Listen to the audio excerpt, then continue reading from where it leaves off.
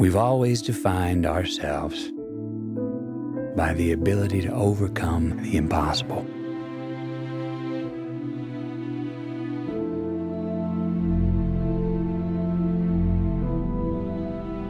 And we count these moments.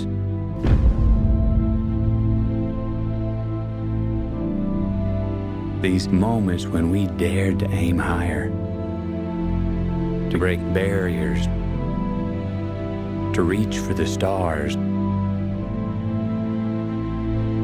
to make the unknown known.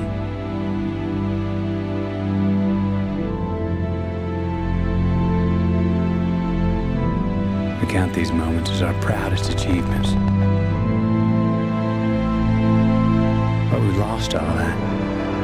Pulls into port for the last time.